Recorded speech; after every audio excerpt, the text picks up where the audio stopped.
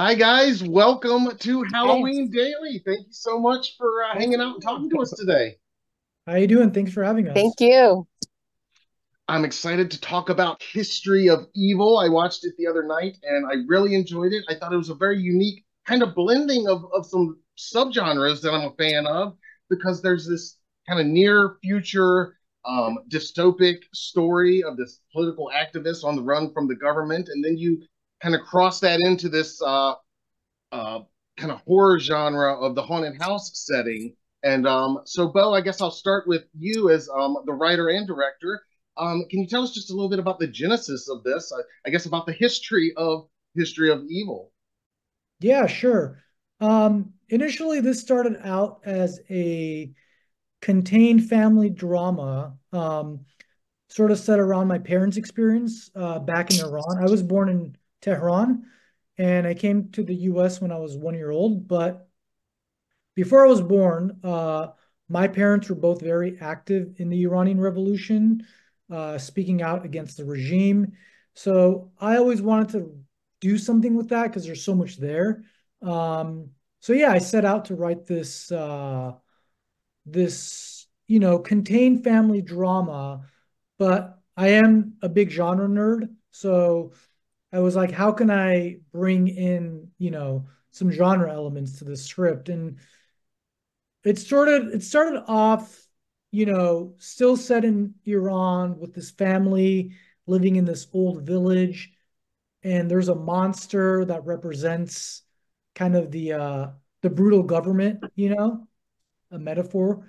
Um, but then it just started taking iterations and de- through development with XYZ and two and two, we started to bring it more to today's time.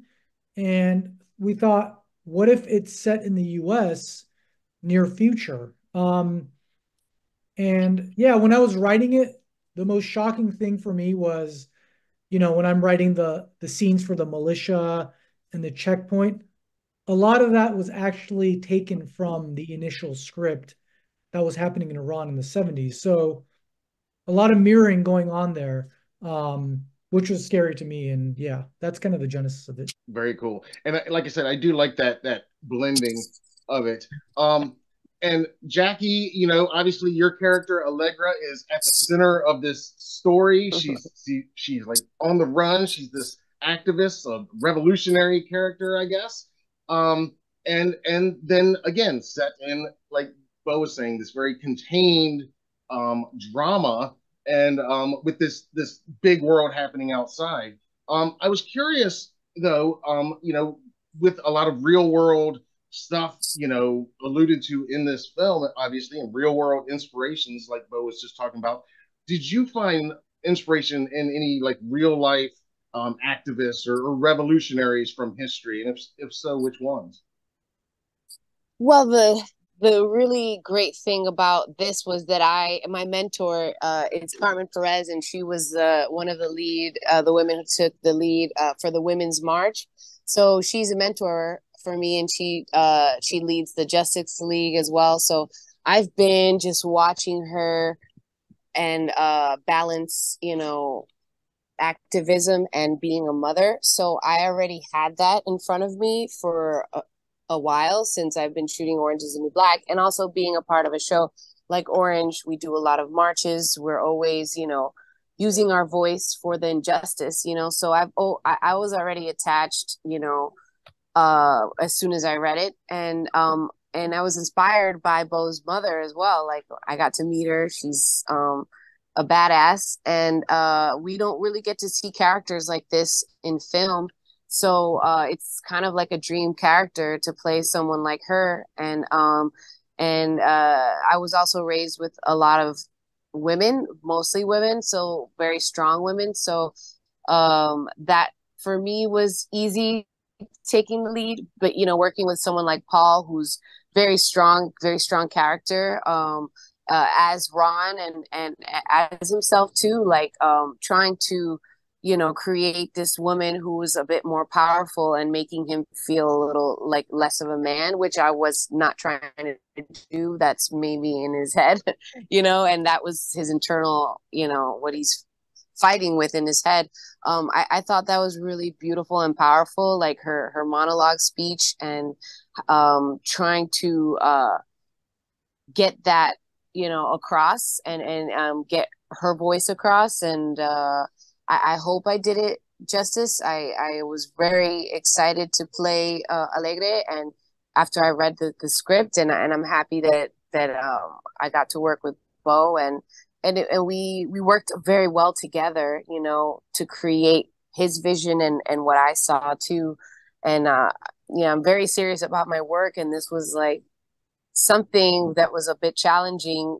Number one, because it was very quick that we had to shoot, and I had to get in that mindset very fast. So um, so it was everything was challenging, uh, you know, but it, it helped create this urgency in the film and also um uh in in her character. And uh, I don't know I hope you, you I hope you enjoyed it. I, I I loved every moment of set good good and bad. Well and and you mentioned how how challenging it was. I was going to ask that of, of both of you um you know with both this being again writer director and being your first feature um directorial film and and again with having such a central role for you, Jackie, I was going to ask you both what was the most challenging aspect of making this film for each of you? Jackie, you can go first. Um, well, I just became a mother, so um, I only was three months after giving birth. So pumping and all that during the scene, and you know, um, but it also brought a lot of emotions that I didn't know I had. You know, so just when you become a mom, I don't know, you expand, you and also you fight for someone um till death, you know. So I already I I got that. I had that and and you can't really act that to, you know, unless I mean you can't act that of course there's mothers in movies that, that are great actresses who aren't mothers, but I'm saying I got to live that. So um and I used that, you know, being a new mom. So uh it was a little hard, you know, uh, leaving the baby so soon, like all day. But I, they were lovely enough to let me bring my baby, so I got to go home to them in New Orleans. So, you know, and it was during COVID, which was scary because a lot of people started getting COVID on set, and lucky me, still no COVID. Uh, I've been, you know, oh. blessed. yeah, I've been blessed. So, um, I, uh, that was a little challenging. Just, you know, just you know, leaving the babies and going into this kind of intense environment yeah. and trying to come home and be a mom again, you know? Yeah. Yeah, for me, I mean, so I come from commercials and music videos. Um, that's kind of how I started and was, you know, um, paying the bills. Um, but before going to Louisiana, where we shot the movie, I tried to mentally prepare myself that this is going to be the hardest thing I've ever done and it emotionally and physically surpassed that. Like there were things that I would have never expected um, to go down, but also I think the challenge is, uh, I say that now, but like at the time I was like, oh my God, like what am I gonna do? You know, we don't have this one thing, or we don't have enough time. The light's running out. We can't go into overtime. A lot of these challenges actually force me to be scrappy and be on my toes and come up with creative solutions. I mean, I was writing, rewriting parts of the script while we were shooting. Um, you know, I'd go home after we'd wrap and rewrite some of the stuff for the next scene because I anticipated we might not be able to pull it off how it is on page. So knowing all that, and then I got really good advice three days into shooting on the third day. Um, you know, coming from commercials, there's a lot of money and time. And I was kind of having that same mentality on set where I would take a lot of takes and I would stop and think about like, okay, how do I want to maybe do this different, block the scene different? And my producer came up to me and said, which is great advice, great advice. He was like, for your first film, you just need to finish it. and I was like, what do you mean? Of course I'm going to finish. And he's like, no, literally, you're going to, a lot of people don't finish their first film. They don't finish uh, production because they run out of money. They get to post. And So after he said that, I was like, I'm not in a commercial where there's a ton yeah. of money laying around and time.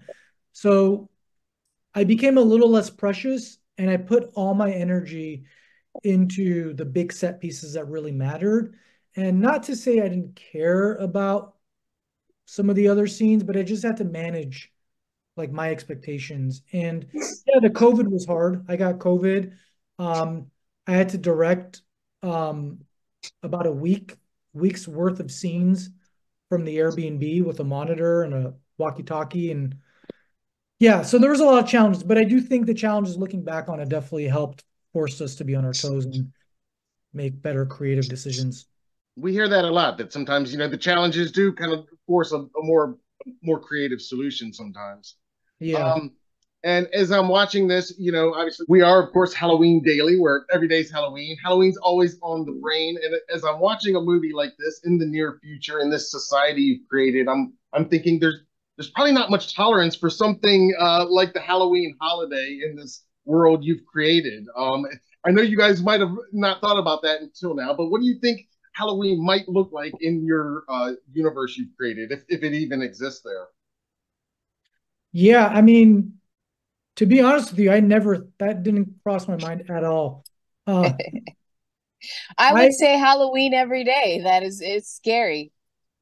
Yeah, I think like in a role like that at that point, people I don't want to compare it to the pandemic where no one was going outside, but maybe it's a little bit like that where people are just too depressed and too afraid yeah. to leave their house. Um, and uh, yeah, I think Halloween might look a little different. It might be too real. yeah. Yeah, like you said, the scare is a little too too real in in that world. And, yeah, um, right. And and if you'll indulge us before we let you go, do you guys in your real life uh, look forward to the holiday and, and celebrate it like we do? Do you go big or just kind of kind of lay low? Where? What do you mean we do? Where are you right now? Well, we we're in North Carolina. We're out on the uh, Outer Banks of North Carolina. Oh, cool. Nice. Oh, well, I love Halloween. Absolutely. I'm an actress. I love to be someone else for a day. Some maybe a blonde or something. yeah, I Halloween is my favorite holiday. Um Yeah, it's awesome. I like as a kid I would always, you know, ask my mom if I can turn the house into a haunted house. So, um I would scare like other kids coming trick or treating.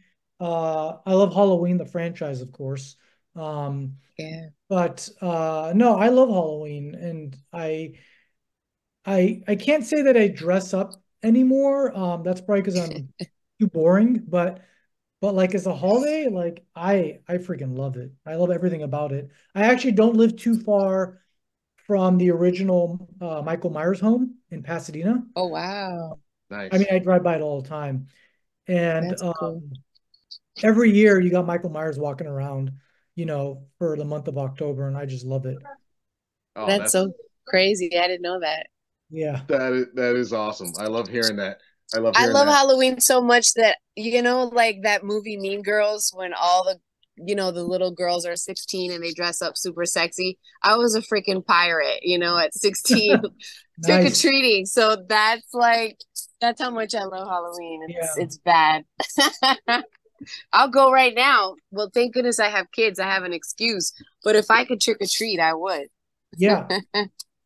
yeah. Well, and like you said, it's great having kids because then then you can go out and trick or treat. Yeah, yeah, more of an excuse. Um, yeah. But yeah, I love hearing that. That you guys love it like like we do. So my my last question we always try to ask everybody before you go what is your favorite Halloween costume that you've worn and your favorite Halloween candy? Um, favorite Halloween candy is Sour Patch Kids. Um, favorite costume, I was once the uh, baseball Furies from the Warriors. Uh, we had a little crew uh, in college. We got the black eye and the whole baseball uniforms and everything. With the long hair. The we got the wigs. Yeah. Oh, that sounds cool. Yeah. Well, do you do you know the movie Splash? Yep. So I got to play. I I did the actually I like to be blonde, so I had the big blonde They, I was a mermaid. That was my favorite. oh, awesome! That was a, yeah, I love that one. And uh, candy, I have to say, I got to be old school. Those little like uh, the ones that look like uh, corn. Those corn. Oh, oh candy, candy corn. corn. Yeah, yeah. That's candy I love those. Yeah. Awesome. Awesome. Very cool. Good picks all the, all around. Very cool picks, and I love your costume picks too. Awesome. Yeah, thanks. Some classics there. Well, I know you're really busy. Of course, I know our audience is, is going to be checking out History of Evil and looking forward to it. And I recommend it, and I enjoyed it. Thank and you. I can't thank you both enough for hanging out and talking to us today. And we always hate to say goodbye, but since it's always Halloween for us, instead, I'm just going to say Happy Halloween. Happy, Happy Halloween. Halloween.